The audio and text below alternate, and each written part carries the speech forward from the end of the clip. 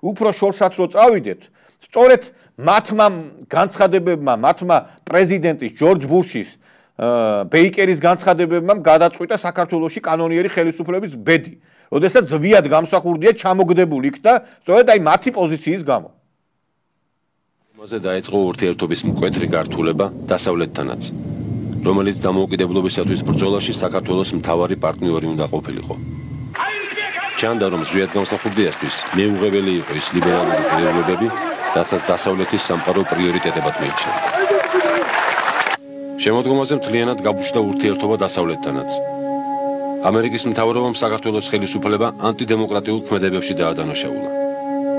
სახელმწიფო მდივანმა ჯეიმს ბეიკერმა განაცხადა, რომ ზვიად გამსახურდიას სახით საქართველოსი ავტორიტარული რეჟიმი მყარდება, რის გამოც საქართველოს უარი ეთქვა დასავლეთიდან ეკონომიკურ დახმარებაზე. აი ეს იყო პოზიცია და ამის შემდგომ მოხდა სწორედ პუჩი და სამწუხაროდ კანცელარიის ზოგიერთი ვირთხა რომელიც დღეს რაღაცა ტელესტუდიებში დადის ამას ყველაფერს ხანაერად ფუთავს. როდესაც 6 თვე ხარ პრეზიდენტის სავარძელში, 6 თვეს აძლევენ ხელისუფლებას იმისთვის, რომ რაღაცა დაანახოს საზოგადოებას, რომ აი 6 თვის მერე იწება მისი შეფასება.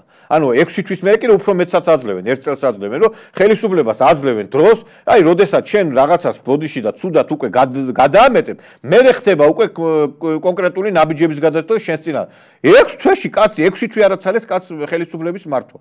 რა რომელი დემო ვინ დახოცეს ვინ წარმოედგინეთ თქვენ ახლა აი დღევანდელ დღეს რომ ვიღაცამ ქვემეხები მიიტანოს პარლამენტთან ტანკები რომ დარაზმოს ჯარის ნაწილები რომ გავიდეს სადღაც და მე ამას ყველაფერს დაერქვას დემოკრატიულად განწყობილი ძალები. ვინ მოითმეს ამას მაინტერესებს და მაშინ ხდებოდა ეს ხელისუფლების წინააღმდეგ გავიდა ძალები კონში შეერაღებული ძალები პარლამენტთან მივიდნენ და დაყარეს ქვები და ამას ამ ყველაფერს ამერიკის ადმინისტრაცია აფასებდა თურმე რომ დიქტატორი იყო გამსახურდია.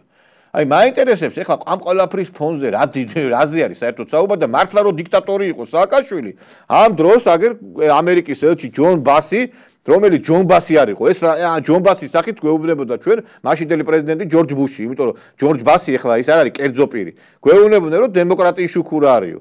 სიხში რო იხჩობოდა მართლა და რეზიუმე და დასკვნა არის ის რომ არაწყობთ მათ საქართველოსი პოზიციის ისეთი პოზიციის მქონე ადამიანი და ხელისუფლება რომელიც იქნება ქართველი ნები ხალხის ნების გამომხატველი